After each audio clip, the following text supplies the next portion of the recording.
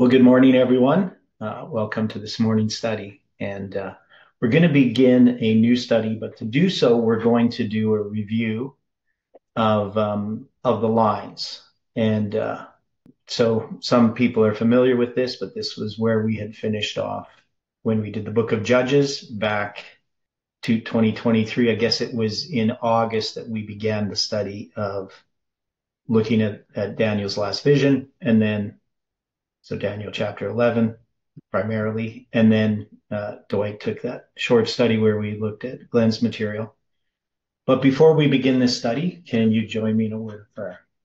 Dear Father in heaven, we are so thankful for the way that you work in our lives.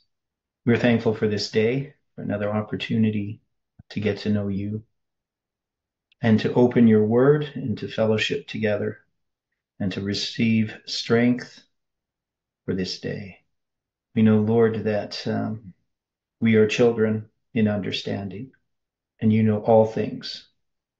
And we are so grateful that you've been able to share through your word and through providence and through the speaking of your Holy Spirit to our hearts these things that we have found in Scripture, these hidden treasures that are precious to us and that have allowed us to rise above the darkness of this world into your marvelous light. And so we just again invite your Holy Spirit into our presence, into our hearts, to transform us, to cleanse us, make us new. Be with us now, we pray and ask in Jesus' name. Amen. So, what you see in front of you is a PowerPoint that we had drawn out. Well, this would be quite a long time ago, uh, when we first started the study of understanding the lines, that would have been in uh, 2022. I believe that was, was it March 21st or something? Anyway, we had started this study of understanding the lines. And in first going through that, we went through a reform line of uh, what, what we call the cosmic line. That is um, and I don't have all of this here because this one is is leading down to uh, the history of the judges. Now, now we had I changed a few things here. So uh, the way that I had this line uh, on the top that that we're going to keep the same. So the reform line that we have is the seven days of creation. I probably should I don't know See, this was focusing on the judge's line. I probably should go to the other document because this doesn't have everything that I want in it. So I'm going to switch to this one. Sorry about that. I should have thought of that. Okay, so this is just a different PowerPoint uh, file. This one has all of my PowerPoints on it. And I'm going to try to find I don't know where it would be, you know, what I have to look for. Maybe I'll just type in cosmic line. Do it that way. Okay, there we go. Ah, yeah, so this is the one I wanted. Okay, so in this line here, you can see we have um, the first line at the top is the creation, the seven days of creation. You have, um, and in every line, we have a period of darkness, and that is these are reform lines. God is going to uh, present a message that addresses the darkness. Now, the Bible starts out in the beginning, God created the heavens and the earth. In the beginning, right? God created the heavens and the earth, and the earth was without form and void, and darkness was upon the face of the deep, and the Spirit of God moved upon the face of the waters, and God said, Let there be light. And there was light. There was evening and morning the first day, right? So in every reform line, there's a period of darkness. So this pattern comes from the creation of the world. And it's, of course, done in a symbolic sense. That is, the, the days of creation, though they're literal days of creation, they symbolize uh, God, uh, what he's going to do in the recreation of us as individuals. So when we looked at this line of creation, we could parallel the, this story with what happens in our lives as we come to know God. So we we all live in darkness. And God's light comes to us. And And I've shared this story many times regarding, you know, my personal conversion uh, on August 11th, 1980, that when I prayed to God and gave my heart over to Him and asked Him to take control of my life, the verse that came into my mind was the verse that men love darkness rather than light because their deeds are evil, you know, and and relating to the idea that we we we reject light, you know, because our deeds are evil. But that I could see that God's light was coming to me for really the first time that I was aware of it. So even though I had been, you know, studying, reading Christian books and studying my grandfather's and my father's, you know, theological library, just for me personally, understanding that this that I was hiding from this light the whole time, that even in my Christianity, I was avoiding, uh, you know, who I was. I mean, that to me was a revelation. That was light that came to me. So I'm just adjusting this arrow. They look the same.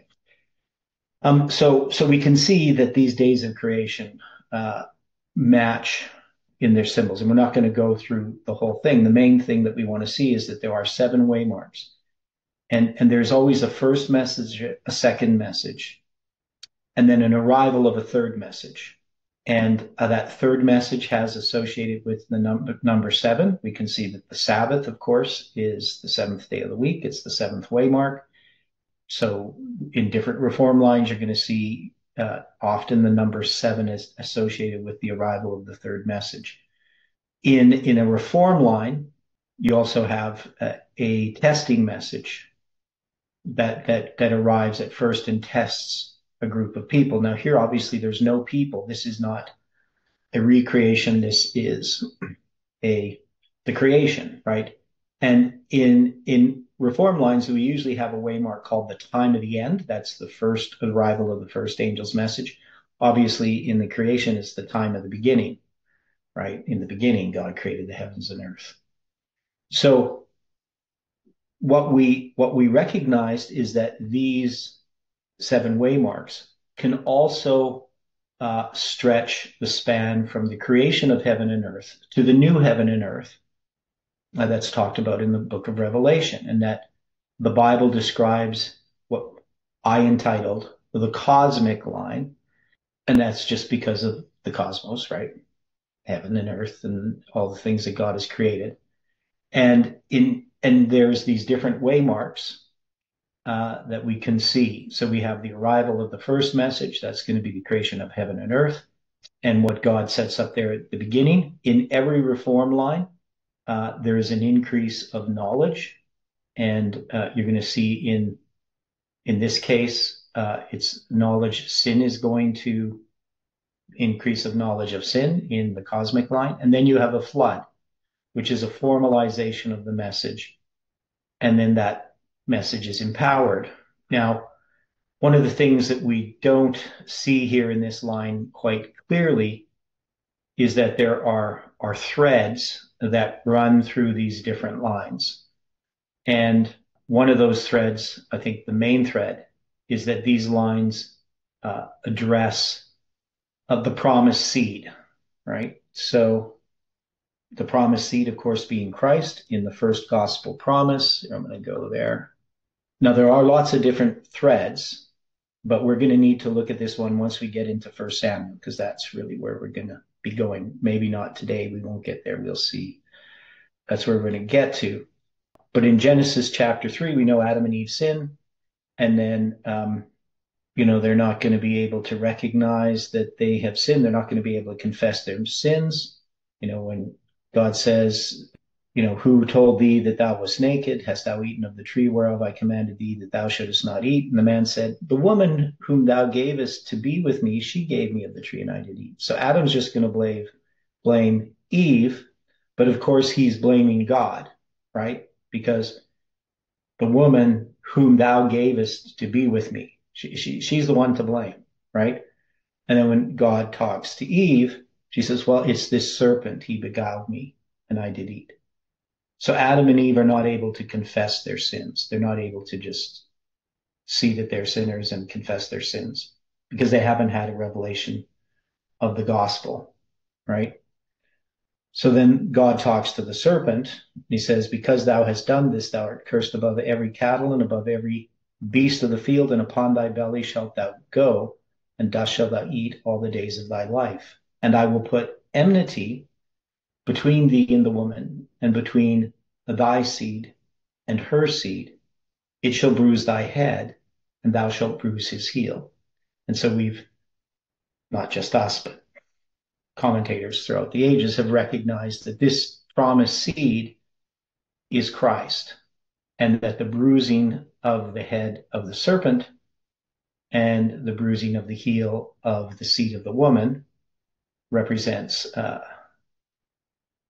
the cross, right? So we see that that happens at the cross. Now, we also know that, that there's these covenants that are made. This is, in a sense, a covenant, the everlasting covenant.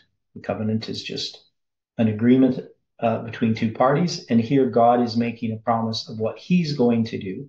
And then there's conditions of this covenant. We see later that there's going to be a covenant made with Abraham.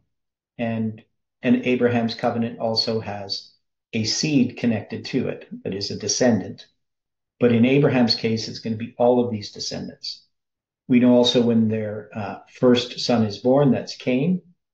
Uh, Eve is going to take it that this is the promised seed, right? She doesn't, she doesn't see uh, the whole plan of salvation and all the history of the world in this.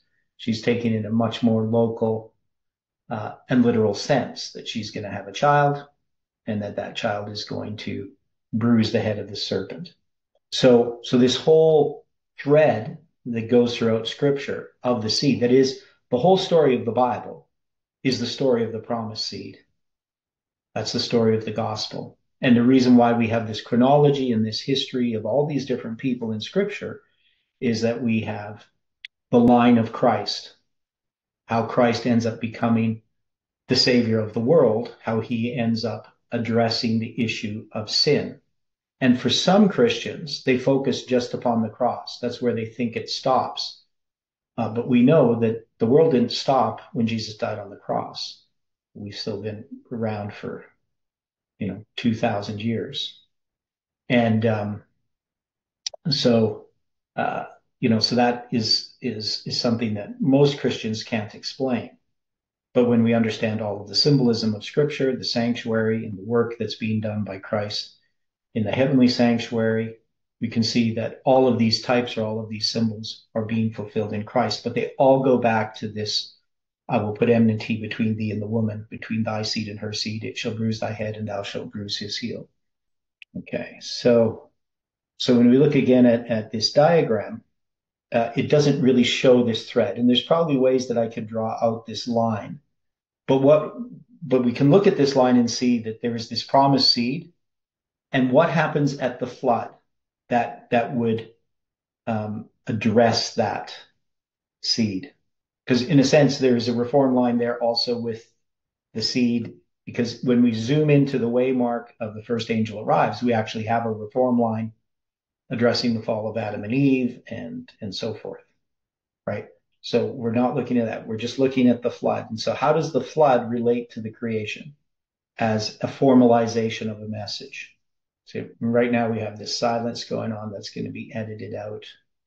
Um, so people won't realize I've, I've isn't you... this yeah, isn't this a formalization of God's judgment? Okay. Um, but we, we want to think about the seed. So we're just gonna we're gonna because you can look at lots of different lines right. with the, this cosmic line. But if we go back to the gospel promise and the seed, and, and we look at the flood, what does God do at the flood? Because remember, when we, we which which I didn't state, which I should have when we were reading that, is that the everlasting gospel is a three-step testing prophetic message. Correct. That develops and demonstrates two classes of worshipers. And so there's a group that's always going to be tested. Now, but there's a formalization of, of a message. So when we're addressing this story of the flood, what, what occurs at the flood? that illustrates the gospel that was message that was given in Genesis 3:15. Yeah, so there's judgment there, but what actually happens? Well, there's been a time of probation. Okay, yeah, so there there is actually and um, a message connected to that. And, and it's a reform line because we can look at the story of the flood. It's all a reform line. It's going to have a 120 year period uh, that, that Noah has from when he's given the message to the time the flood comes. So he has that time to build the ark and to preach. And, and not everybody in that period of time is lost, right? Some just die before the time of the flood. But Noah, his wife, and his three sons and their wives, the people on the ark, they'll be preserved. So what has been preserved, what has been formalized by the flood, if you think about of the covenant that was made in Genesis 3.15. You have, okay, Stephen, go on. Yeah, you have two classes of worshippers being developed. Okay, yeah. And uh, that kind of, the seed of the woman, in a sense, is preserved in the flood. So the seed of the woman preserved in the flood. That's the point that that I think is is important to see, because there's all this sin, right? And God's going to destroy it, but He's He's going to destroy the world, and you can see how the flood is going to typify what happens at the end of the world when there's a new heaven and a new earth, right? Stephen, any more thoughts on that? well, the uh, the floods uh, typifying the Sunday law, I think, at that, that time, as well as maybe the end of the thousand years as well, the, the destruction of the wicked. Okay. So, yeah. So we can see the flood. Now, if you look at this cosmic line, then, can you see the mirror? The creation of heaven and earth, and the new heaven and earth at the end. The flood, right? and the Sunday law. We know that the symbol of the Sunday law is the flood in scripture, right? It's going to talk about this flood. Um, and then we have literal Israel and spiritual Israel, and the center here is the cross, right? So, so within this line itself, we can see that that there is this preserving of the seed, which is the formalization of this message. And then how does literal Israel empower that message. The first, we have first, first angel's message. We use that symbolism from Miller, so from Millerite history, even though these aren't technically angels' messages. So the first angel empowered, or the first message is empowered with literal Israel. How is that then empowering? Is it a, a connection with the sea and the land dividing, and then the division of the kingdom? Is that the way Mark is Israel then, or?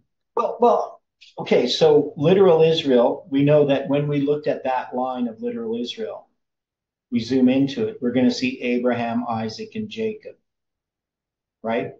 Mm-hmm. And in, in that story of Abraham, Isaac, and Jacob, what's the main the main theme?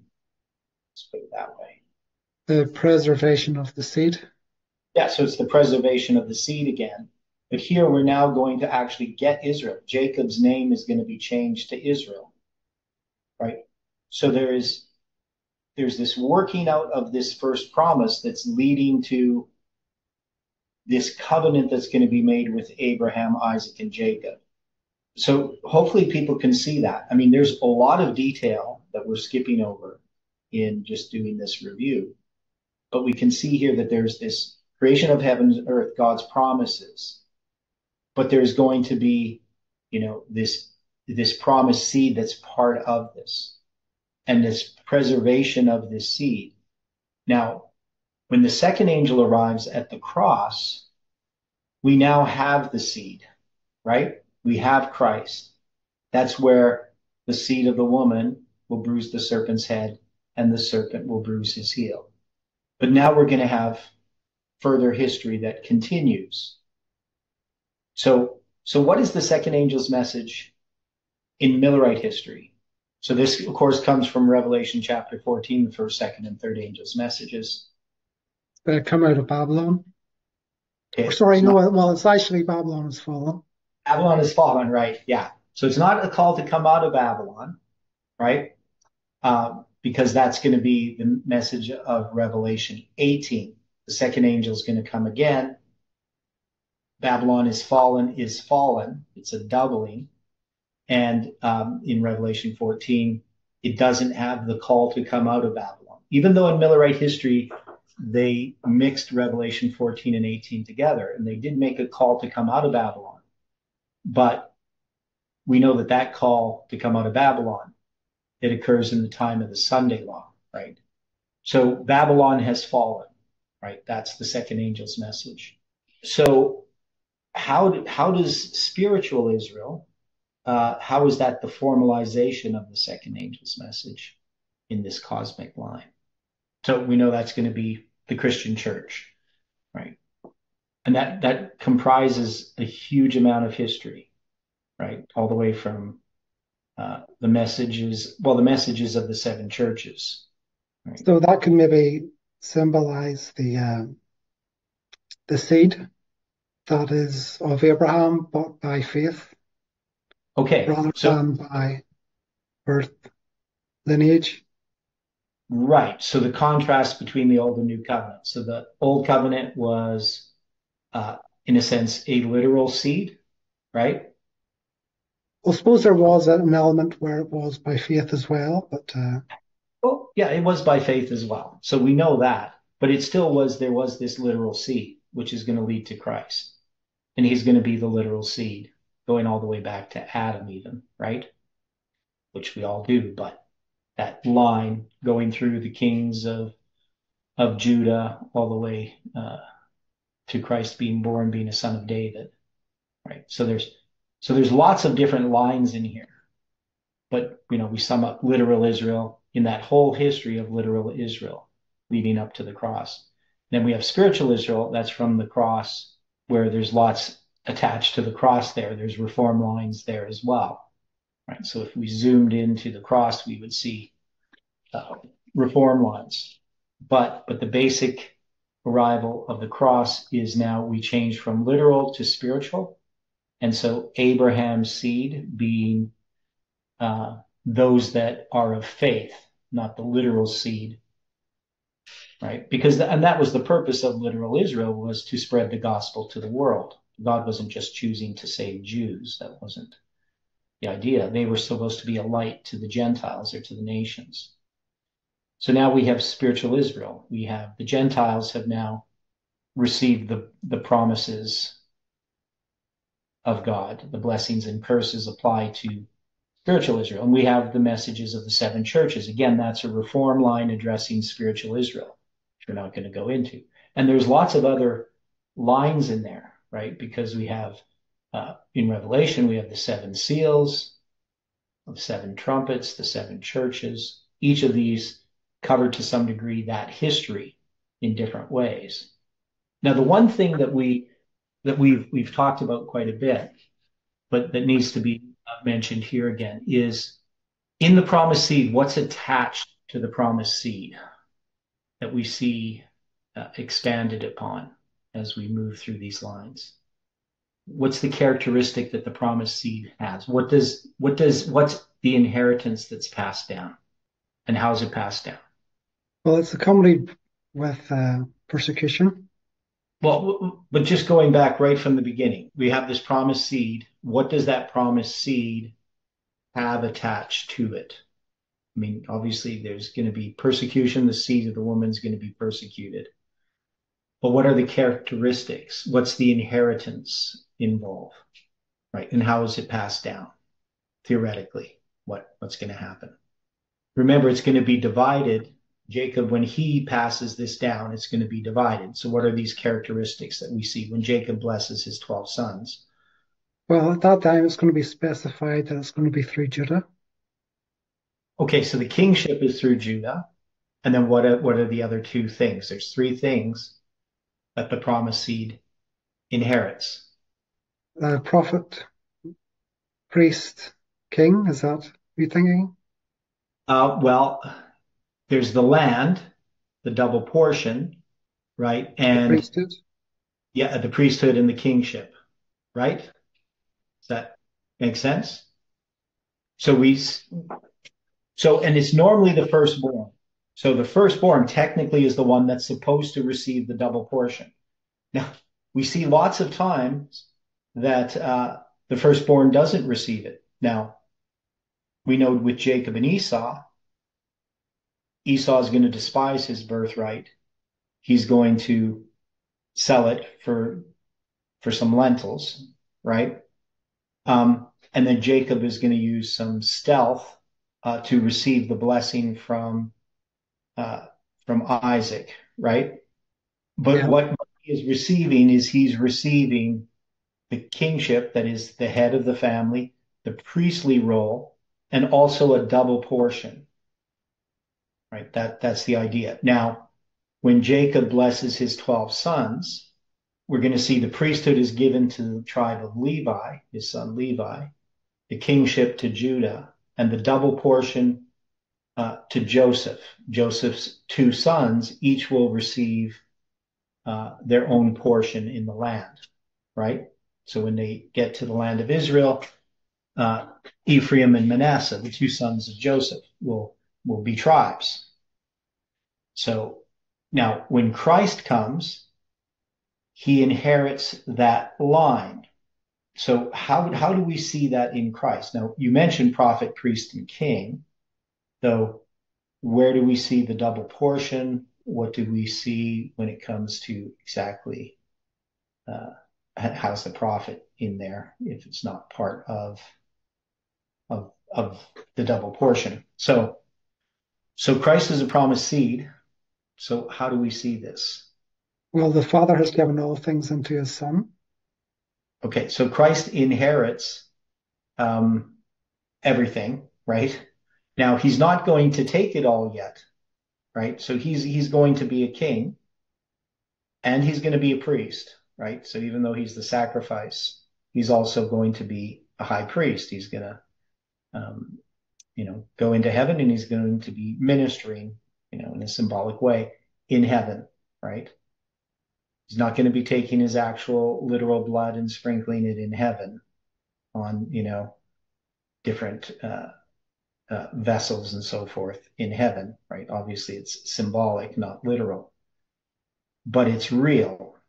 Just because something's symbolic doesn't mean it's not real. So Christ is really our high priest ministering in the heavenly sanctuary. And what he's doing on in heaven is reflecting what's happening on earth. So, so he has, uh, but if we're going to say it as a double portion, how, how would we say that this is a double portion? Or, or do we apply the double portion, just that he gets everything? Definitely we can see his priesthood and we can see that there's a kingship, but he doesn't receive the kingship yet. And does he receive the double portion then is the question. Is that something that he receives later? So even though he's inherited this, unless it's related to buying back uh, the people, mankind, there's that yeah. element in, in, a sense restoring mm-hmm. him to having dominion over the earth again. Yeah. The element of uh, his government yeah. being established. Mm-hmm. Yeah. And, and so we can see that, I mean, he's going to really receive his inheritance when there's a new heaven and a new earth. Like, because just because you, you, you're born and you receive, you know, you, you have the birthright, there still is a period of time in which you receive your inheritance right? So, so he's going to receive his inheritance. Now, we could all say there's a double portion in a sense. Well, in the story of Job, Job is going to lose his family, uh, but he's going to have another family, right? He's going to get all, all the children that died, they're going to, in a sense, be replaced. And so literal Israel is going to be placed, replaced with spiritual Israel. So you could kind of say that's maybe a double portion. Well, he has a double portion of the animals. His livestock are doubled. Uh, of the what? His livestock is doubled. Oh, oh, yeah, his livestock is doubled in Job. Yeah. And as uh, some people think his uh, the years that he lives is also doubled. doubled. So they it's a bit of speculation, but they think he lived seventy years until he had that affliction and yeah. then he's going to receive uh, another 140 years to live. Okay. And uh, in a sense, you're maybe seeing that his family weren't lost originally, so they don't, they're not doubled. So in a sense, they're, they're in a sense, the original sons continue through like, In a sense that they're not, uh, it's not like the animals are doubled. His children are, in, in a sense, preserved. So they don't, in a sense, need to be doubled. So that's the idea, if you know what I mean. Yeah, I understand what you're saying. So some some of them in in the resurrection, he'll have two the twice as yes. many kids. Yes. So, yeah. Okay. So we can see that this second angel's message, it, it has also the doubling attached to it, right? That's one of the points I wanted to bring out with the double portion. So so you have this this inheritance that he receives at the cross, which is a double portion. It's a doubling. And then, of course, we have uh, the history of the church. Then we have the Sunday law. So the history of the church, spiritual Israel, that's the working out of this church, this new seed that he received. And then the Sunday law, where again, we have a testing message similar to the flood and two classes of worshipers are demonstrated. And then and then with the new heaven and the new earth at, at the second coming there's well there's lots attached to that. Obviously we just kind of group it all together but we know there's lots of detail of the order of events from uh, the time when probation closes the seven last plagues uh, the thousand years uh, that god's people are in heaven while satan is bound to this earth. And then after that is the great white throne judgment. And then we get the new heaven and the new earth, right? So there's a reform line that we haven't really addressed yet in, in any kind of detail. So now when we, so we're still looking at this literal Israel reform line at this point in the period of the judges. So when, um, see if I can find this here.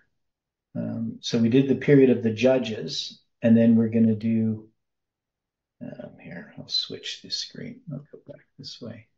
Right. So when we looked at the judges line, I don't want to look at the judges line. I want to look at this line. Okay. So now there it is, literal Israel. Um, so I have to share that screen somehow. It didn't seem to. Is it working? Yeah, it's working. Okay. I see it. Sorry about that. looking at the wrong screen. So it's the second line here, literal Israel. And we can now I changed this when I originally had it. I didn't have judges there, uh, but th- I've I've modified this line from what I had before. So we have Egypt to Canaan, and then we have the period of the judges, and then we have the period of the United Kingdom, and then we have the period of the divided kingdom, and the three decrees. Now, as far as how this line has worked out in this reform line, we really haven't addressed it. We initially just put some things there we didn't really go through this line yet. We just started Israel's 12 sons. So we went through, you know, this is literal Israel itself. And then we had um, Egypt to Canaan. Canaan had a reform line as well. That was Abraham, Isaac, and Jacob. You can see that line below there, right? So when we're dealing with literal Israel, it's it has different reform lines in it. And so the judges is one of the reform lines. Okay. And after the judges, you have the United Kingdom. So the United Kingdom of Israel, you're going to have um, Saul, David, and Solomon, right? You're going to have three, right? Three different uh, steps. Now, prior to that, so this is where we're going to look at that, is that we have this story of Samuel. So we're going to go to the Bible here. So hopefully that review was enough. We'll, we'll come back to these lines again. And, and one of the things we will be doing is drawing these things on a line.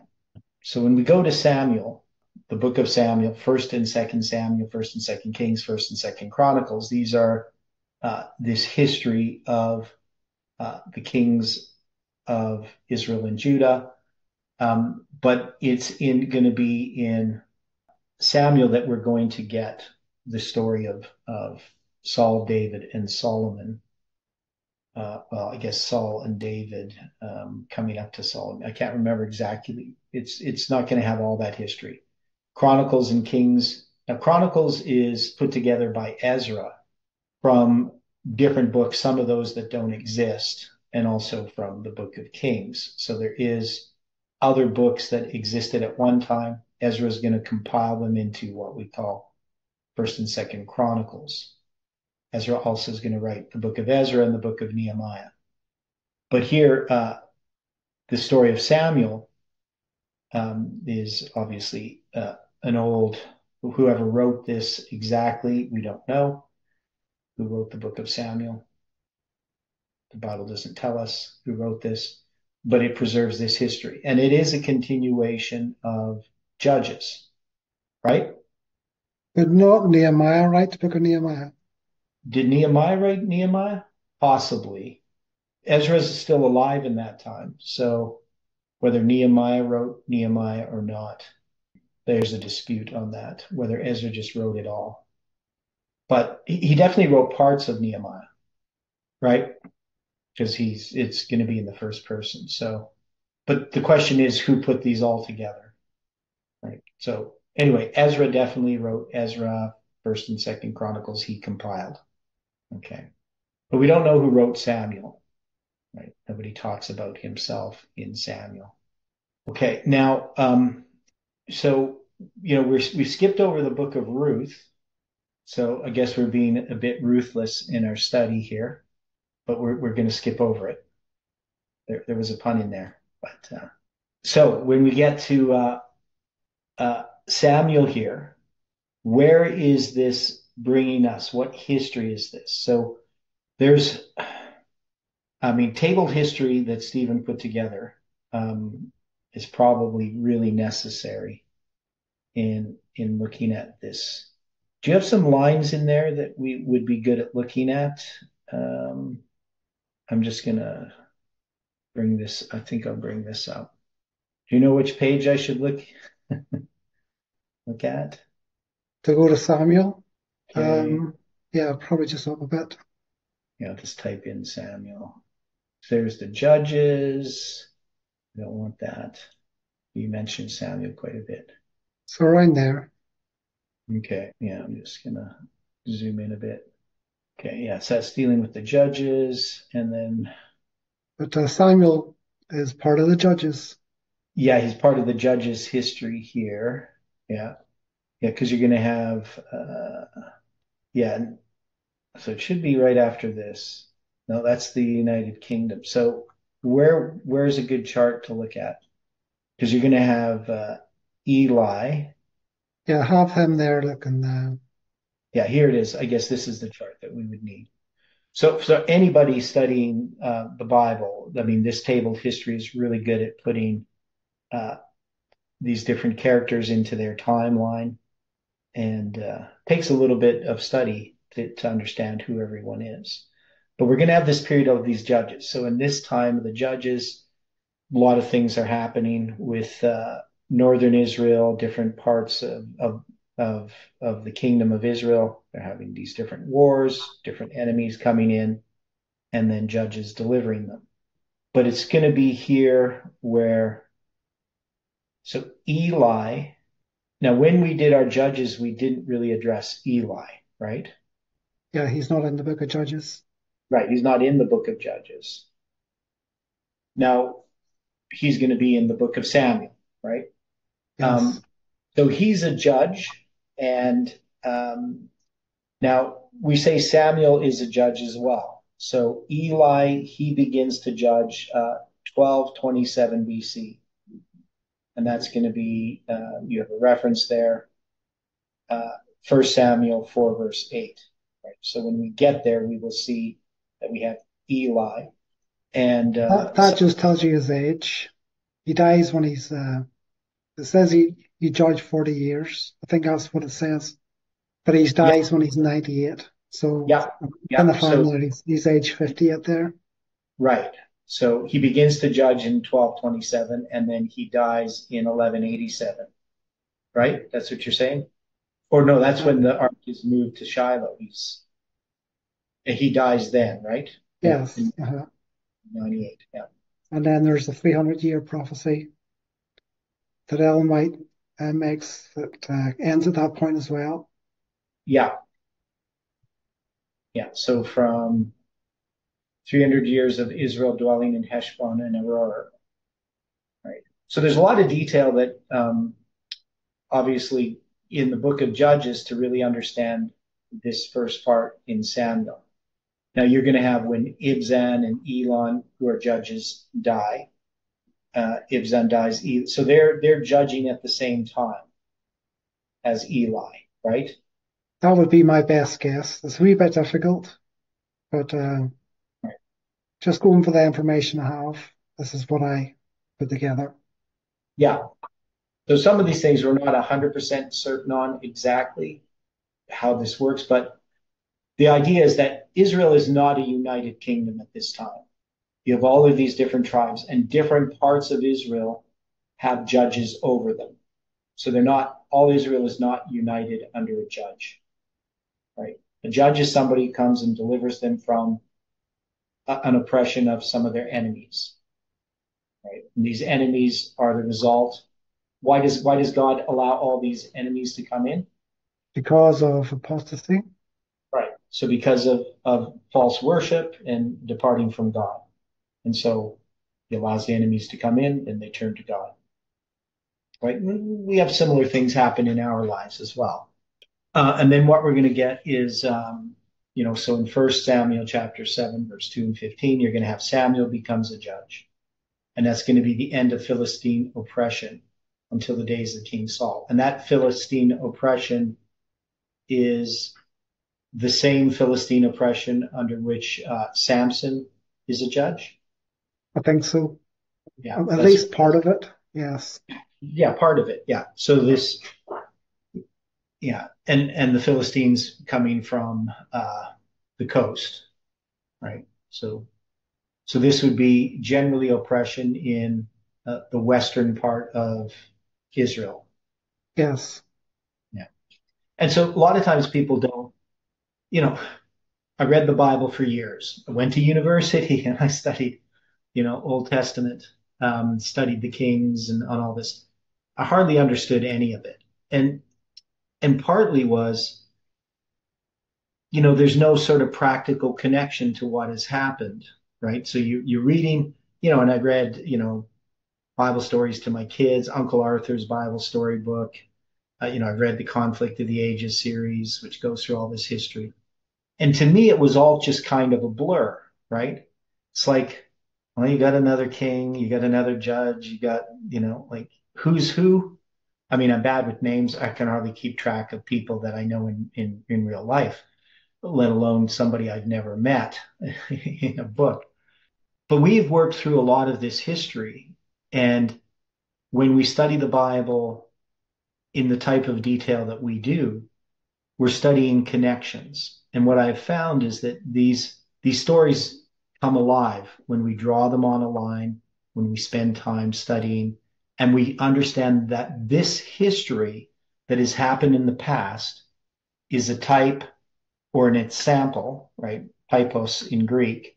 All these things were written, or aforetime were written as in samples, right? So these, these types are things that represent our history, the time that we're living in presently. Now, when we went through the book of Judges, we saw that we made an application of Judges. So the thing about God's word is, um, is that it has many different levels to it. And we made an application that applied to this movement and to the things that were happening presently. It's not the only application that could be made in the book of Judges. But we could see that there was all kinds of symbols in the book of Judges that related to our movement. Um, and especially in, in connection with the symbolic use of numbers. So that would be something that would only be meaningful to us but it doesn't mean that that's what the book of Judges is just about. There's other parts of the history of Judges that reflect what's happening in other ways, right? Now, when it so, but when it comes to Samuel and uh, you know, when we deal with the kings of Israel. Uh, there's definitely, we can always apply these things on a personal level. We'll probably see things, we haven't done this yet, so we don't know what we're going to find. But I'm sure we'll find things that parallel um, this movement. But I do think that we're going to find things that address a bigger picture in this world presently, right? So with judges, a lot of times, well, I know Dwight always kept wanting to to go to like what was happening with the Seventh Day Adventist Church, where I was more focused upon what was happening with the movement because I felt that that's where the the focus was was. But it doesn't mean that that when he was applying it to the church that that wasn't there. It was. We could make these applications on a larger scale and also to the world. But I, I think here with uh, when we start going through Samuel, that we're going to find that there's a lot here applying to the church and to the events at the end of the world, right? That are on a bigger scale. That's my guess, right? Um, based on past experiences and how we study these things. And, and I can sort of just thinking about some of these things, um, you know, without a deep study, I can see how these different uh, elements connect. But there's obviously going to be lots that we're going to find.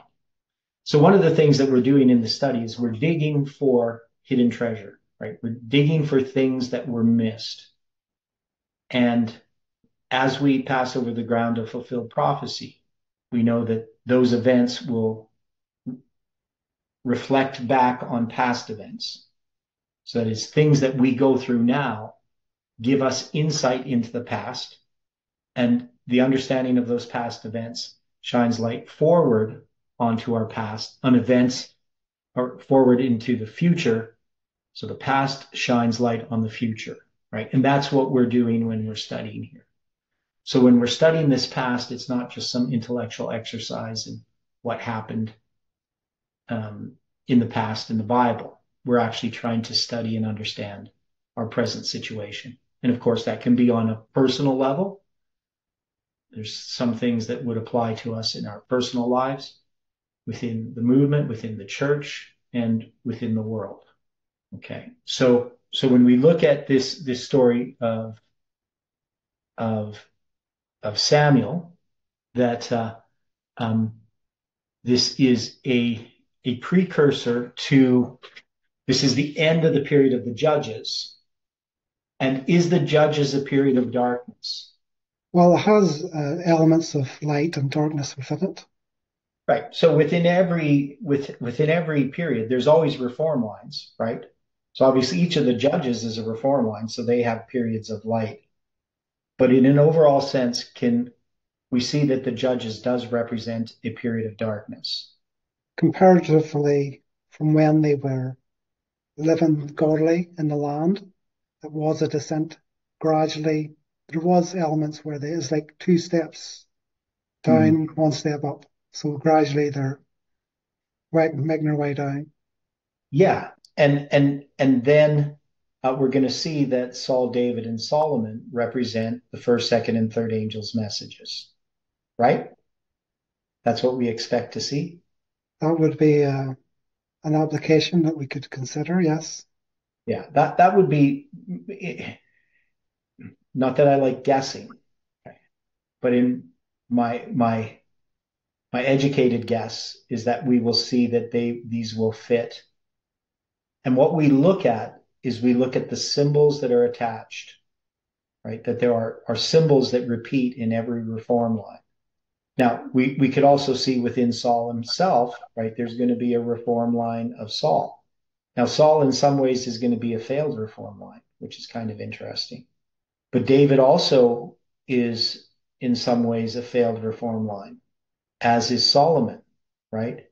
And, and that's the thing that I find interesting about this kingdom because that reform line, you know, that you have a period of darkness in the simple sense. You have a first angel's message arrive, that be Saul, but that these all tend to be failures. And why would this line of the kings, the United Kingdom of Israel, why would it be, why would it have this failure attached to it? I mean, I know I'm looking way ahead here, but did God intend his people to have a king? No, but he foresaw he foresaw its uh, its potential. Right, because it, it's not his original design. Uh, McDonald, do you have a comment on that? Yes, I wanted to say uh, God did not intend uh, for them to have a king because they had already a king who is uh, Christ Himself. Right. So, so Christ is our king. So, so even though these are reform lines, one of the things we recognize in these reform lines is that God, He has this bigger reform line in in in mind, right? Often I, I have atheists who, you know, question the Bible because God is acting in such a um, an unethical way, right? And you know, why doesn't God do things differently? If God is is God of love, why does sin and suffering happen? Why do three year old children get bone cancer? Um, you know, those types of questions. Unethical or capricious? What's that? Unethical or capricious? Yeah, capricious. Yeah. And define capricious for us? I've always treated it as a, a word where one is acting without compassion. Yeah, and arbitrarily. Correct. Yeah.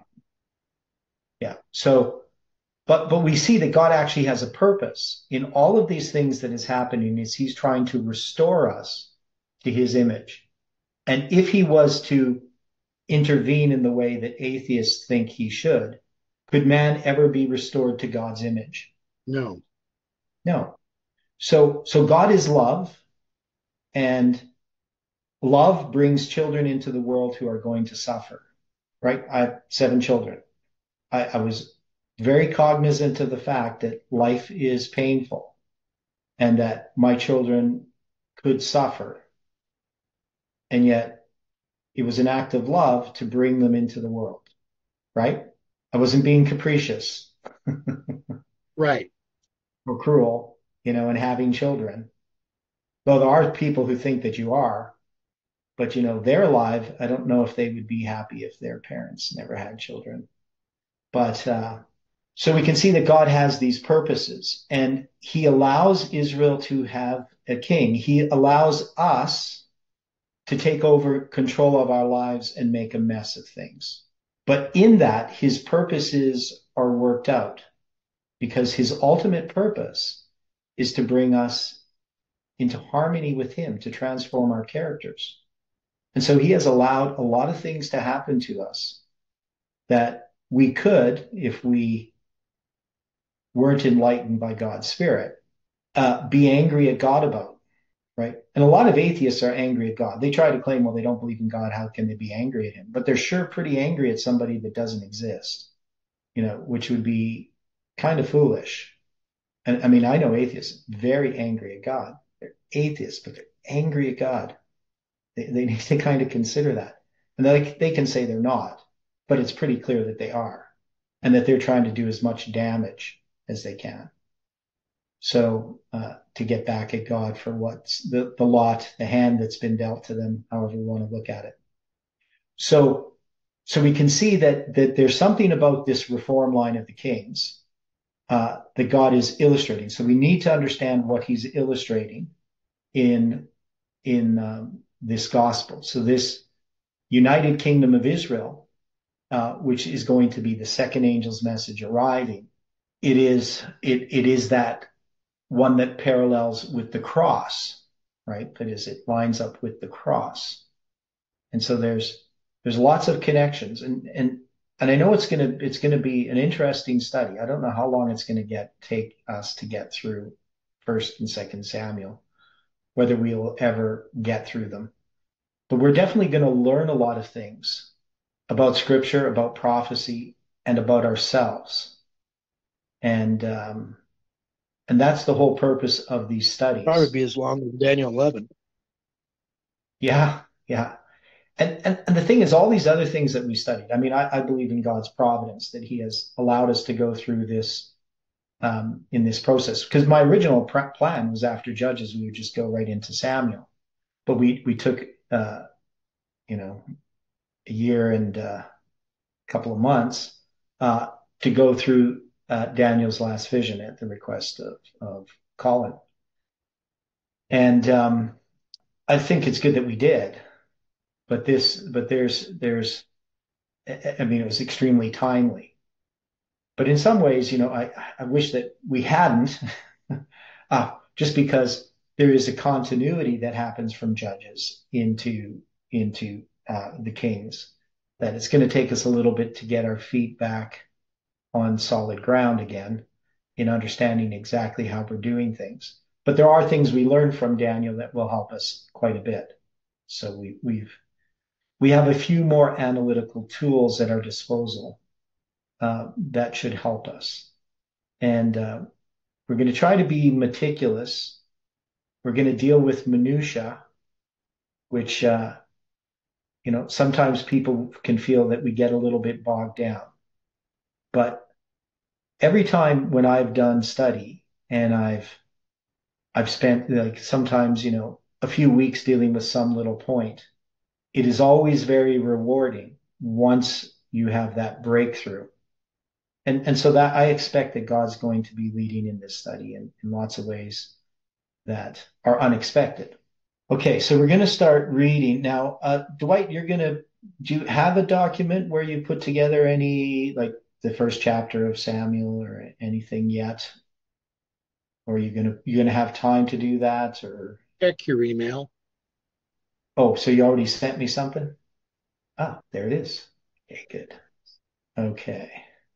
Now, Second Samuel or the, the second chapter is taking a bit, but the first chapter, I've done what I can. Okay.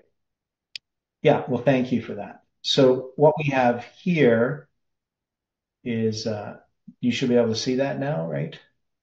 Right. You might want to bring it up a little larger. I'm going to do this differently. Just I'm going to do this the right way. This is the first studies on Samuel, right? Yeah, yeah, I gotta I gotta download the file there. Open it up. Yeah, this is the first studies on Samuel. There we go. That's better. Uh, it could be a little bigger. Yeah, I'm gonna make it bigger. Just gotta get all this stuff set up. Okay.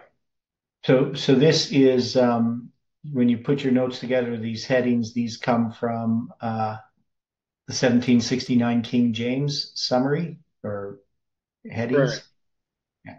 So it just gives this sort of overview. Elkanah, a Levite, hath two wives. He goeth yearly to worship at Shiloh. He favoreth Hannah and comforteth her when insulted on account of her barrenness at, by Peninnah. Hannah in grief prayeth for a child and voweth to give him unto the Lord. Eli mistaking at first rebuketh, but afterward blesseth her.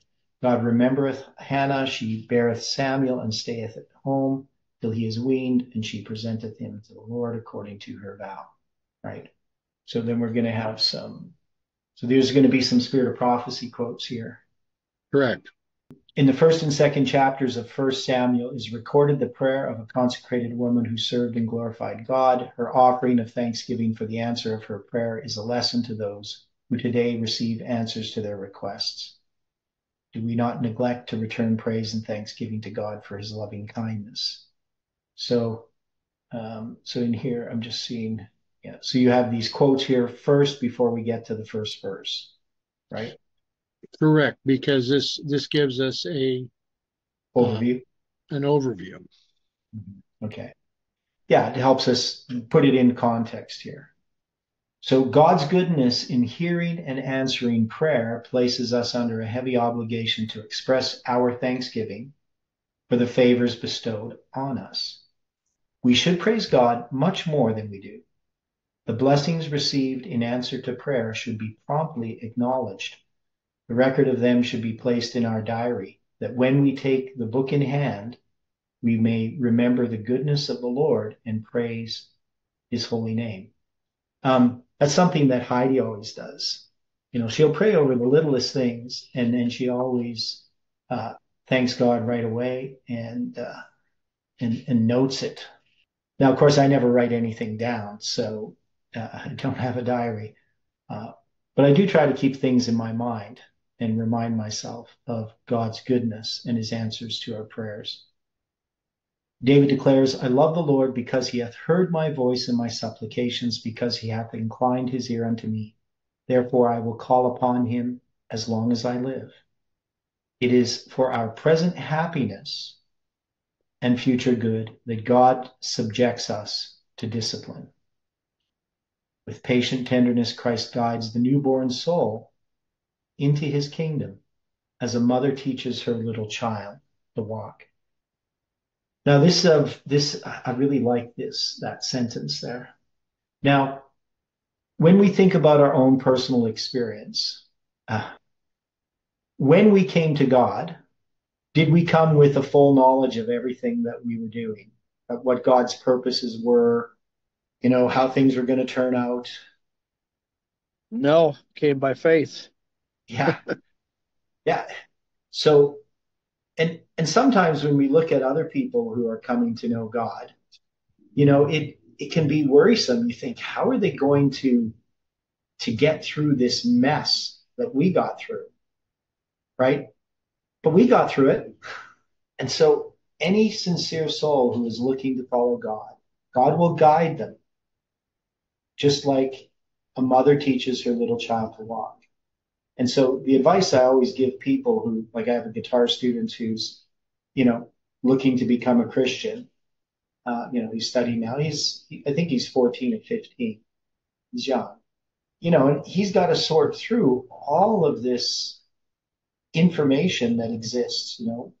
Now he goes to the, the a Catholic school. He's not Catholic, you know, his parents aren't religious at all and uh, you know he he plays guitar so he plays guitar at mass. So he's he's exposing himself to lots of different things that he's going to have to sort through. But i know that if he's wanting to follow god god will lead him. Doesn't mean that i don't you know try to give him some information here and there. But i've no control over what decisions he makes. He's the one who's in control. Every one of us has to in a sense go through this journey alone as far as other people are concerned. Because there is no one that we can trust other than God. And what is our, our natural tendency that God has to uh, address? What, is what is the, the natural tendency that is counterproductive to coming to know God? Well, there's of things it can be the things of the world, influences of friends, yeah, just false teachings and suffering. Yeah, and, and we tend to trust man. We tend to look to someone other than God, right? Yes. And we see this with ancient Israel, right? They, you know, that's why they wanted a king right? And, and, and we see people, you know, they follow man. And, you know, there is no man that can guide you. There's only God that can guide you. Now, there are people that you can, you know, fellowship with and, and be a part of, right? Nothing wrong with belonging to church. It's actually really necessary in order to see things in ourselves that need to change, to learn how to love other people, right? All these things are really, really important. But but it's God that we go to each day to guide us, not to man. And and we saw in this movement when Parminder and Tess split off from the movement, took the vast majority of the movement with them. You know, Parminder was basically saying you can't understand God's word for yourself. You have to trust the leadership. Right? It basically became a cult. And and most religions you know, even ones that talk about all these evil cults, most of them are really just cults themselves. That is, they put man in the place of God. And we believe as Seventh day Adventists that in the priesthood of all believers, that there is the, the sole authority is not a creed, not a church, but is God's word. That's that's the standard in which we understand all things and and none of us have the ability or the power to you know to to condemn another to hell right we can't you know we we could disfellowship people right I mean, the church has the ability to do that, but that's not going to uh, change that person's salvational status, right? That person is really accountable to God. So if a church disfellowships you, it doesn't mean you've lost your salvation. So, so we always need to remember this, that, that it's, we have the ability to come to Christ ourselves and we don't have some man as a mediator. Christ is our mediator. Okay. Through thank- sanctification, the heart becomes more and more like the heart of God, and the will is more fully conformed to the will of God. Now, what is sanctification here? What she's talking about, because it's a, a, technical term sometimes. People just we throw these words around sanctification. Isn't it the second step in our relationship with Christ and the Father? Okay, so we have a term justification when we come to Christ and we ask Him to forgive us. Um, we are justified. That is, we are, are made righteous. Our sins are forgiven. Christ loves us. He treats us as though we've not, we've never sinned, right? Sanctification is the daily process of justification, right? That is, we come to God every day just as we first came to Him, as erring, helpless, condemned sinners right? We don't become a Christian and look at ourselves as good because we have this work of sanctification. The more we know God, the more we see our deformities. But in that process, it says the will is more and more fully conformed to the will of God. Right? So there's sort of this um, almost a contradiction in some ways because as we are more and more fully conforming to the will of God, we see more and more our deformity, our lack of of the the, the contrast between us and God in character. Right? You would think the more we fully conform to the will of God, the more we'll see ourselves as godly, right? Wouldn't that naturally be how you would think things would be? But it's not that way. Right. So it is time that those who claim to believe the truth understood that their lives, their thoughts, words, and deeds testify to the value of their religion. Now, okay. before you before you go on from there, yeah. Um, now this this has a lot to do with with my love of minutia. I had I was remiss. This is a, a non-published document I did not note it as so, but I also have noted that this manuscript 158 is something that gives us another point right back to both the 1843 and the 1850 charts. Yeah, so we know 158 on the 1843 and the 1850 charts, the year.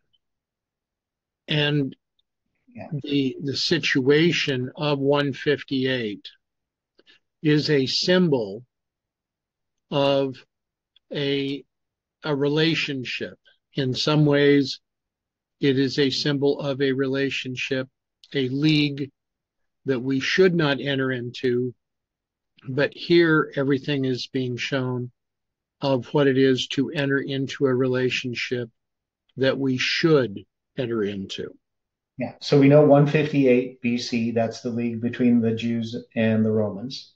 Correct. League. And uh, 666 years later, we're going to have um, the taking away of the daily. Right. Right. And and of course that that league is it's well we have all these lines of prophecy that that tie up to that date. The 1335 years from the first league that the Jews made. And then there's 1335 years from 538 or 508 to um, 1843, right? So to the end of 1843 to April 19th, 1844, when the second angel's message arrives. So lots of lots of symbolism. It's also August 15th, the 15th of August, which is the midnight cry in Millerite history. So a bunch of symbols there but yeah. So we're not we're not going to get a chance to really go through today to go through these, but um, uh, what I suggest people do is kind of take a quick read through First Samuel chapter one before the study tomorrow. But it says, Now there was a certain man of Ramoth Zophim of Mount Ephraim, and his name was Elkanah, the son of Jehoram, the son of Elihu, the son of Tohu, the son of Zuph, an Ephrathite. Right? Now, one of the things that we're going to do, so um, there are some tools that we will be using. And I'm going to do it this way, just hang on. So one of the tools is, so this is a, and I'm just going to put the link here. So it's at palmoni.org forward slash kingjv forward slash. So you can see that up in the corner. So palmoni.org, that site has the Bible indexer. It also has uh, the calendar converter as well as other charts and links to papers and, and so forth. But the reason why we use this, uh, we also use, of course, eSword, because we look at the Hebrew numbers. But we can look at a verse and we can look at, uh, so when you see when I click on 1 Samuel 1, verse 1, you're going to see that it's going to say it's the reverse verse that is in that chapter. Um, it's the Bible verse number 7,214, the reversed Bible verse 23,889, the book verse 1, right? So the first reverse book verse 810, the lexical sum, that's all of the Strong's numbers uh, for the Strong's dictionary for each of the words in that verse, 54,381. It's the ninth book of the Bible. It's the reversed book number from counting from Revelation backwards is 58th right? So so we use some of these tools um, to uh, because symbols show up. Now with um, and I'll go here then. You download this indexer from online somewhere? Yeah, palmoni.org. Okay. Yeah, if you go to palmoni.org, you'll find the calendar converter, you'll find the indexer and other things articles as well. Now, then, obviously, in the King James, uh, uh, which we usually use the King James Plus, but you could use other translations if you really wanted to. That on my eSword, I have, I don't know, lots and lots of different translations, different languages.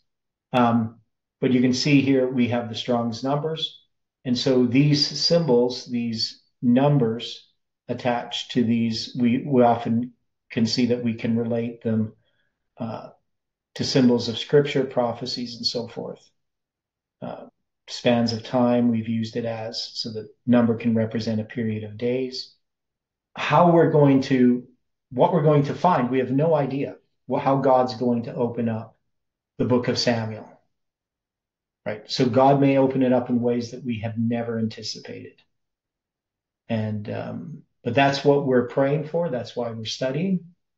And uh, I, I'm looking forward to seeing what we will find. So, any final thoughts before we close with prayer? And I do appreciate you putting together those notes there, Dwight, as well. Okay. Well, let's pray. Dear Father in heaven, we are so thankful, Lord, for this day, this um, the last day of September, and uh, the opportunity we have in this new study. We just pray for one another. You know, Lord, that um, the work that you have begun in us, that you are going to complete it unto the day of Jesus Christ. And so we ask that we can participate with you in that work and that we will not hinder the work you want to do in our lives. Bless each person. May your angels watch over them. May your Holy Spirit speak to us and strengthen us by your grace. Bring us together again to study your word according to thy will. We pray in Jesus' name. Amen.